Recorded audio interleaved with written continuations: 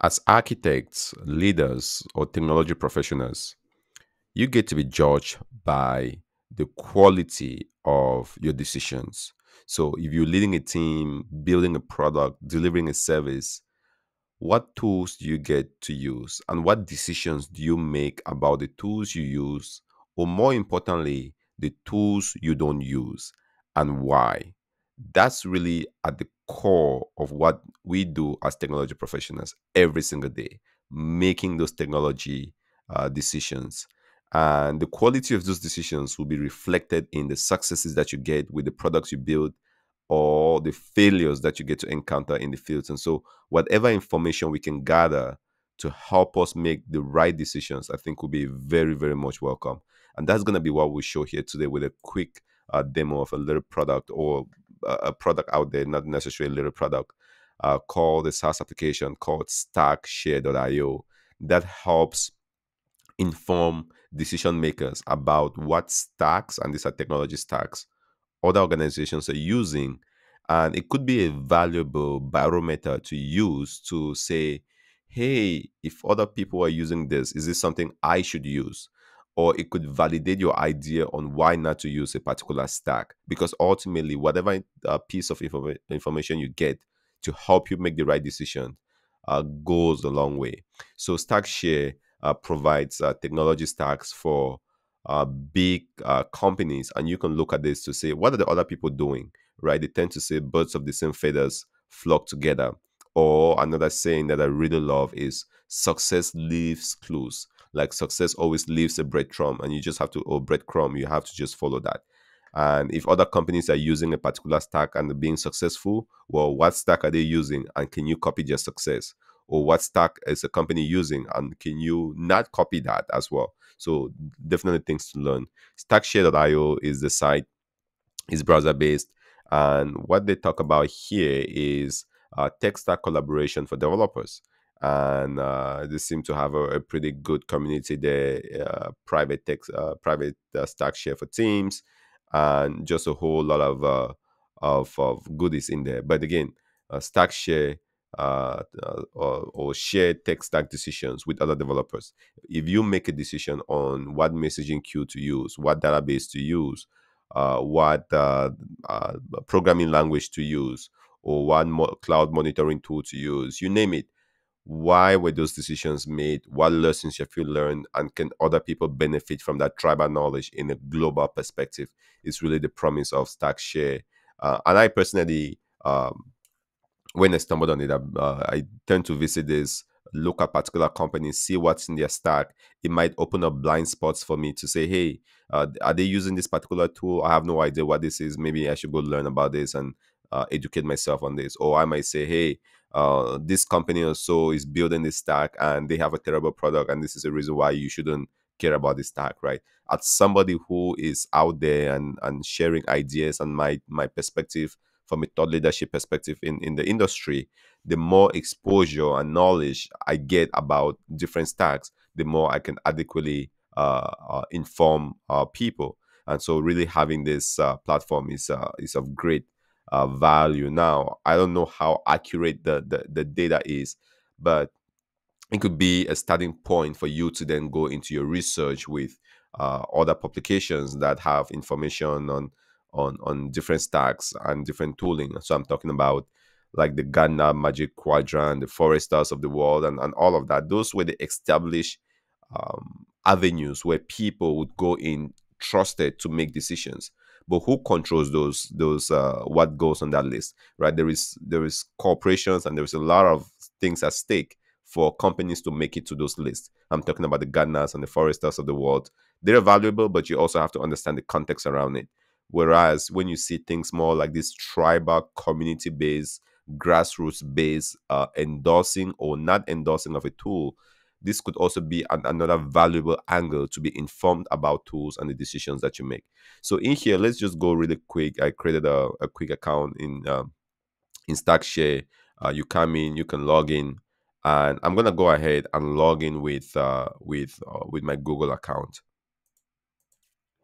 All right, so we're logged in into Google, and when you come in, the very first thing you see is a feed, um, and this is all SaaS based. So around the world, around the globe, people are talking and collaborating on particular uh, uh, tools. Uh, there are feeds, there are decisions, there's what's trending, and just a whole lot of uh, goodies. I think I'm not yet set up, so it's asking for things to set up. But one of the the, the, the first uh, places to to call out here is you can come in and browse stacks. So think about your favorite successful uh, FAANG type of company that is having a lot of success from an engineering or technology perspective. What stack do they use? What tools do they use? And could you learn from that? So let's pick, and I'm just kind of browsing here really quick. Um, let's pick uh, Lumosity as as uh, as an example. Uh, I believe they make um, brain training. Uh, they have an app for training the brain and uh, and the mind and, and and that stuff. So I, you might be wondering what stack do they use, right? You come in here, you can click on uh, Lumosity. Maybe you're a salesperson, you're trying to sell into Lumosity, or you're just a, a, technologist, you're trying to advise them, or you're trying to start your own company similar to uh, Lumosity, and you want to understand what their stack is. This gives you some insights into it. Again, I don't know how accurate this data is, but uh, it's a starting point, right? So there's Kafka in there uh, there's JavaScript, uh, NGX, uh, MySQL, um, some cloud stuff, and DevOps. They use GitHub and business tools. Slack is what they use, right? So you can see here they use Slack. They don't use Teams. So if you were using Teams and you're talking about Teams here, this might be very quick for you to understand that all right teams is not what they use slack is where you want to be focusing your effort uh, in as far as is concerned so that is from an angle of somebody who's potentially a salesperson or leveraging something like this. But just imagine, as technologists, uh, professionals, how could this be valuable? Let's say you come in here and you see something like Kafka. Assume you have no idea what Kafka is. You've never heard about Kafka. And yet there is an organization like this that you're trying to copy your stack because that's why you came here. And they have something listed here called Kafka. Now, this is an avenue to say, all right, I need to go understand this Kafka thing and be familiar with it and, and why they use Kafka. And I believe there is some, if you look here on the right, uh, somebody made the stack decisions. There are uh, followers, and uh, uh, it talks about what Lumosity is. And I don't know if this is a Lumosity employee that wrote this um, that wrote this particular decision, but somebody made a decision about Kafka, and you can go in and read why that decision was made by this engineering manager. And that could help you with making your own decision.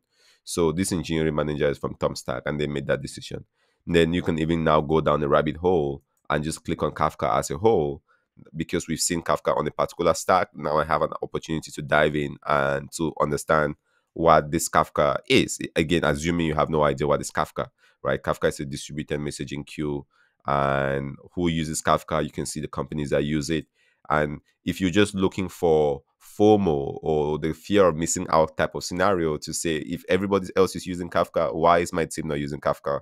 You can get that validation to say, okay, other folks are using this from a uh, from uh, uh, from the community. And if you're an engineering manager, this could also validate your point of view. And would you put more weight on this compared to, say, like uh, the Forresters of the world or the Gartners or whatever uh, publications are out there? Give or take, because if this is coming from a community and these are actual people, not potentially people that could be influenced by a lot of money moving hands, but these are actually people that are making those decisions and contributing, that could be a very substantial uh, data point to help inform your decision.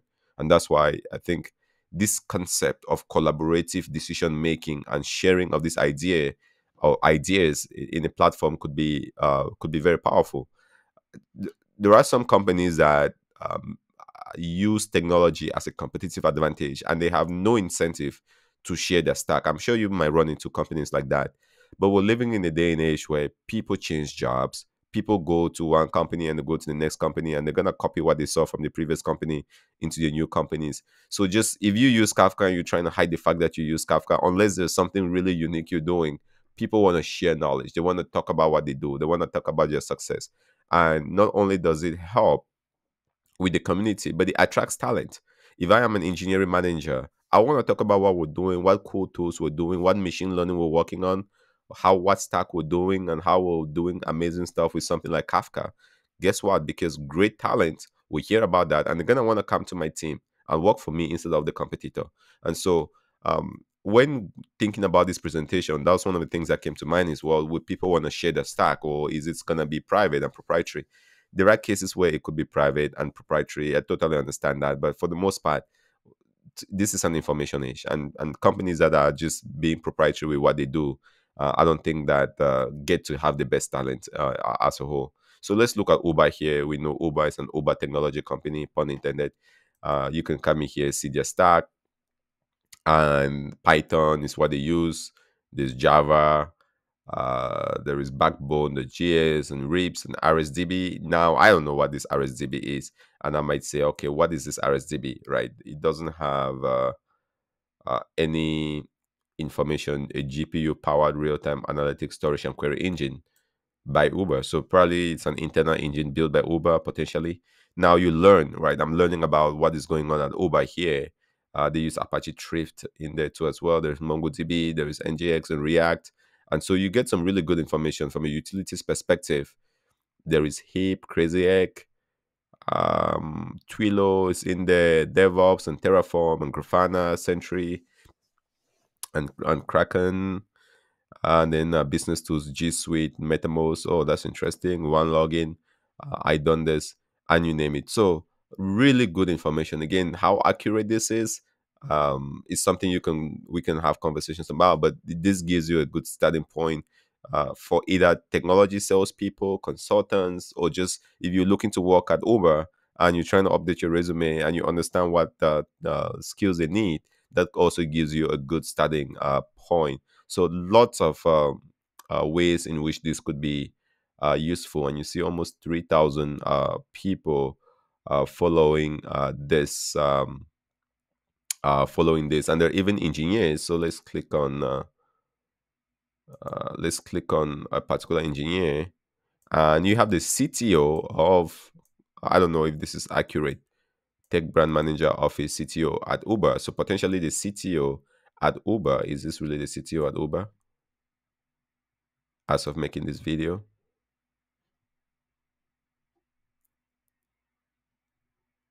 yeah at one point. So the data might be might be uh, a little bit uh, dated. It doesn't seem like this particular individual works at uber as of currently or making this video but at one point they were the cto of uber okay?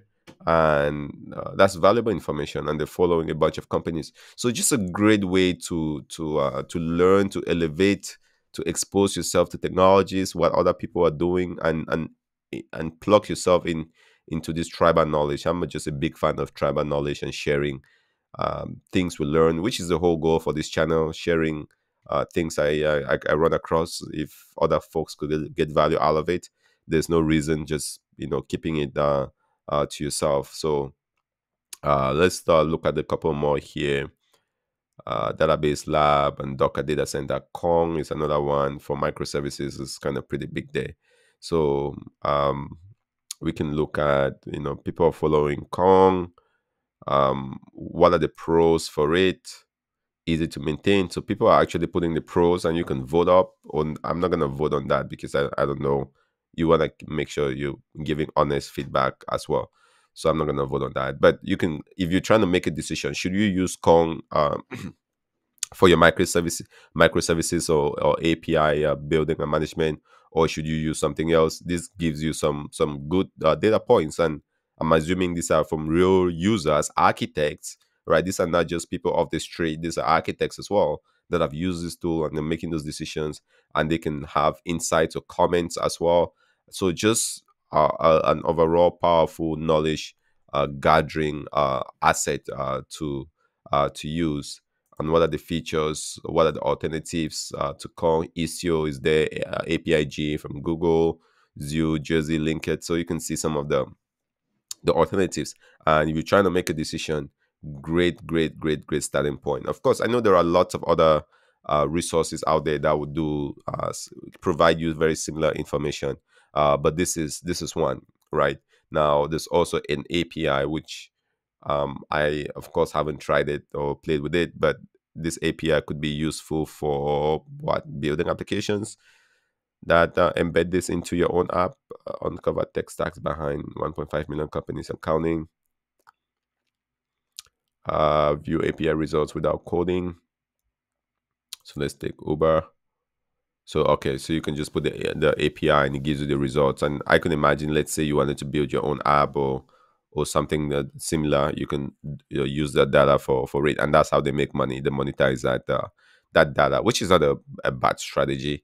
Uh, and then you can come into jobs if you're looking for jobs too as well. I could see this being valuable. Um, I haven't. Uh, uh, I could see this. I uh, I haven't really thought about the use cases for jobs for people looking for jobs, but I'm assuming that if you're a company and uh, people are you're using a particular stack and you have information about the stack here, why not post your job? So your job listing, so folks that are interested in that stack and or in that thing that uh, product can um, can take a look. So that's why I, I, see this being valuable. So there's of course uh, a job here for software engineers. Of course, bad data, which is something you expect for for products like this. Let's try this one. All right, so they use jobs.lever.co. I'm not sure what that is, but if you're looking for jobs too, um, this could be an, an interesting avenue. The interesting piece here is the jobs would list the, the stacks or the, the technologies that are being needed, and you can even just click on, oh, I thought you could do that. All right, I guess you can't. I was expecting that you can click on this and it would just take you to that stack. So you can kind of have this multi-dimensional linking between jobs and stacks and, and all of that from a learning perspective. I don't know why Git is listed here, uh, but uh, just something very curious. So an interesting, um, an interesting uh, site or utility, whatever we call this, uh, to have in the tool belt and to reference uh, stackshare.io, and I believe it says private stacks.